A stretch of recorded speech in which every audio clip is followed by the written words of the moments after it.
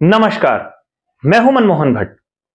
उत्तराखंड कांग्रेस से खबर है, उनके एक सिपाह सालार कांग्रेस छोड़ चुके हैं।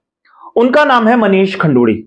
Manish Khanduri, major general BC Khanduri के बेटे हैं। मनीष खंडूड़ी ऋतु खंडूड़ी के भाई हैं। लंबे समय से राजनीति के गलियारों में चर्चा थी कि मनीष खंडूड़ी कभी भी कांग्रेस को अलविदा कह सकते हैं। कांग्रेस छोड़े जाने के कारण क्या है? इसका जवाब मनीष खंडूड़ी ही दे सकते हैं।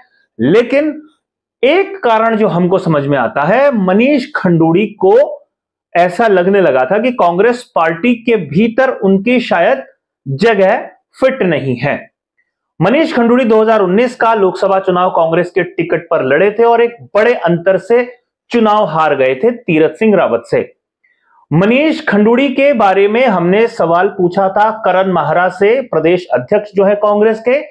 एक विस्तार से इंटरव्यू हमने लिया था, उसमें हमने पूछ लिया था कि मनीष खंडूड़ी पार्टी छोड़ने की तैयारी कर रहे हैं, उस पर गोलमाल जवाब करण महारा ने दिया था। करीब दो हफ़्ते पहले उस इंटरव्यू को हमने रिकॉर्ड किया था, जो आप लोगों के सामने है। लेकिन अब बात यह आती है कि मनीष खंडूड़ी के जाने से कांग्रेस को क्या नुकसान होगा? और क्या मनीष खंडूड़ी भविष्य में बीजेपी ज्वाइन कर रहे हैं? बीजेपी वो ज्वाइन करेंगे या नहीं करेंगे, इस बारे में कोई स्पष्ट जानकारी नहीं है। कुछ समय पहले, थोड़ी देर पहले, मेरी खुद बीजेपी के प्रदेश अध्यक्ष महेंद्र प्रसाद भट्ट से बातचीत हुई और उन्होंने कहा, अभी ऐसा कोई कार्यक्रम नहीं है, जब कोई कार्यक्रम आएगा तो बताएँगे। हो सकता है मनीष खंडूड़ी आने वाले समय में बीजेपी ज्वाइन कर ले, हो सकता है बीजेपी ज्वाइन वो ना भी करें। लेकिन अगर वो बीजेपी में ज्वाइन करेंगे तो क्या बीजेपी ने उनके साथ चुनाव के संदर्भ में कोई चर्चा की है? मालूम नहीं है। लेकिन मनीष खंडूड़ी के कांग्रेस से जाने का क्या असर कांग्रेस पर पड़ेगा? इसको आकलन करने की जब हम कोशिश करते हैं तो बीजेपी के पास जब दावेदारों की बात आती है तो बड़े सारे नाम हैं।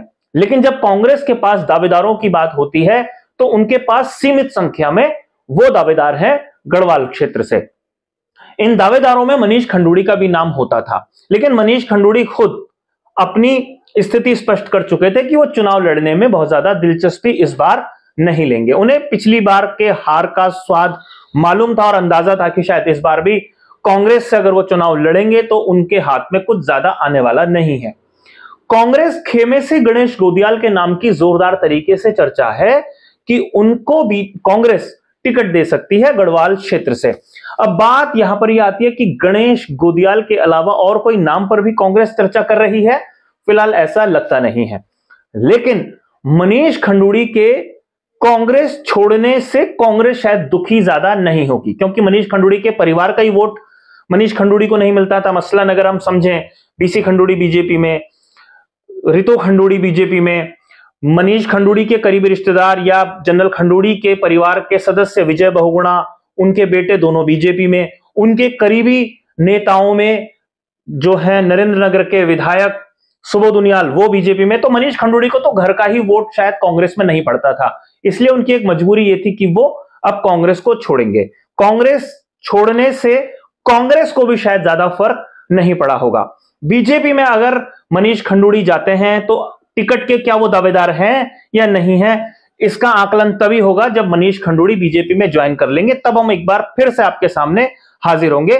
वैसे एक बात आपको बताऊँ, कुछ समय पहले विजय बोगुड़ा मनीष खंडूड़ी और भुवनचंद खंडूड़ी साहब की एक फ़ोटो सामने आई थी। खुद मनीष खंडूड़ी ने इस फ़ोटो को फेसबुक के ज़रिए ही सामने दिखाया था और उस समय ही अंदाज़ा लग गया था कि कहीं ना कहीं विजय बहुगुणा एक सूत्रधार की भूमिका में है और मनीष खंडूड़ी कांग्रेस छोड़ सकते हैं। अब चूँकि खंडूड़ी परिवार के सदस्य विजय बहुगुणा विजय बहुगुणा के करीबी लोग, विजय बहुगुणा के बच्चे सारे के सारे बीजेपी में है तो इस बात की संभावनाएँ थोड़ी ज़्यादा है कि मनीष खंडूड़ी बीजेपी में आ जाएँ।